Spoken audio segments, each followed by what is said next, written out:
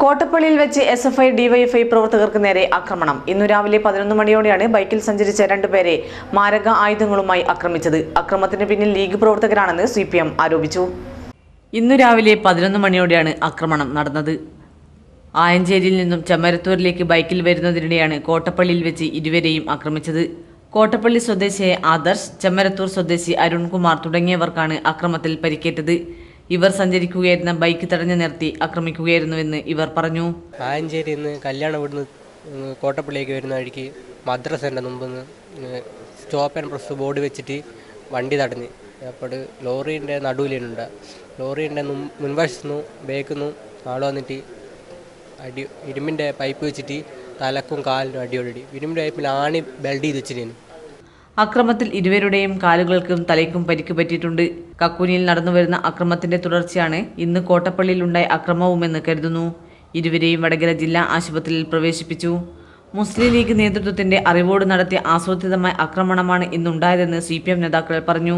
Kottappally M L P സ്കൂളിന്റെ മുൻവശത്തുള്ള മദ്രസയുടെ മുന്നിലുള്ള റോഡിനകത്ത് വെച്ച് പേര് ചോദിച്ചുകൊണ്ട് എന്താണോ നിന്റെ പേര്? അരുൺ നാം ആദർശെന്നും പറയുമ്പോഴേക്ക് നിങ്ങളൊക്കെ ഈ നാടിനകത്ത് ഉണ്ടാവാൻ വേണ്ടി പാടില്ല എന്ന് പറഞ്ഞുകൊണ്ട് കൊല്ലട എന്ന് പറഞ്ഞുകൊണ്ട് കണ്ടാലറിയുന്ന എട്ടാളുകളും ഒരു പത്ത് പതിനഞ്ച് പേരും ചേർന്ന് മാരകായുധങ്ങൾ കമ്പിയും അതുപോലെ തന്നെ പട്ടികമേൽ ആണിയടിച്ചതുമായ ആയുധങ്ങളുമായി അതിഭീകരമായി അടിക്കുകയാണ്. റോഡിനകത്ത് നിന്ന് വലി റോഡ് വണ്ടി ബൈക്കിൽ നിന്ന് വലിച്ചിട്ട് റോഡിനകത്ത് വെച്ച് അതിഭീകരമായി മർദ്ദിക്കുകയാണ്. ഈ എട്ടാളുകൾ എല്ലാ ആളുകളുടെ കയ്യിലും കമ്പിയുണ്ട്. അതുപോലെ തന്നെ പട്ടികയുമേൽ ആണിയടിച്ചത് അതൊക്കെ മാരകായുധങ്ങൾ ഉപയോഗിച്ചിട്ടാണ് കാക്കുനിയിൽ നകത്ത് നടന്ന സംഭവത്തിന്റെ പേരിൽ ആണ് ഇത്തരത്തിലുള്ള അക്രമങ്ങൾ നമ്മുടെ നാടിനകത്തൊക്കെ നടക്കുന്നത്.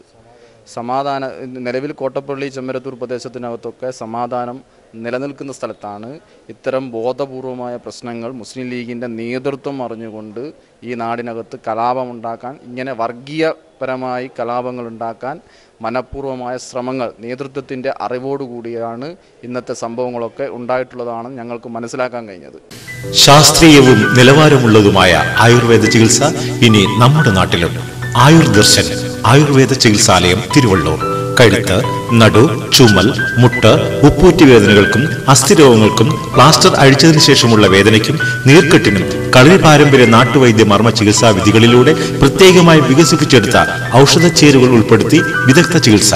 ആയുർവേദ വിധിപ്രകാരമുള്ള എല്ലാ ചികിത്സാ രീതികളും വിദഗ്ധ ഡോക്ടറുടെ നിർദ്ദേശപ്രകാരം പരിചയസമ്പന്നരായ തെറാപ്പിസ്റ്റുകൾ ചെയ്തു വരുന്നു. കളരി പാരമ്പര്യ മർമ്മ ചികിത്സയിൽ നാല് പതിറ്റാണ്ടിന്റെ അനുഭവ സമ്പത്തുള്ള ശ്രീ ജയപ്രകാശ് ഗുരുക്കളുടെ സേവനം ആയുർദർശനിൽ ലഭ്യമാണ്. ചീഫ് മെഡിക്കൽ ഓഫീസർ മർമ്മ അസ്ഥിരോഗ ചികിത്സാ വിദഗ്ധ doctor Aryamitra R V B A M S M D.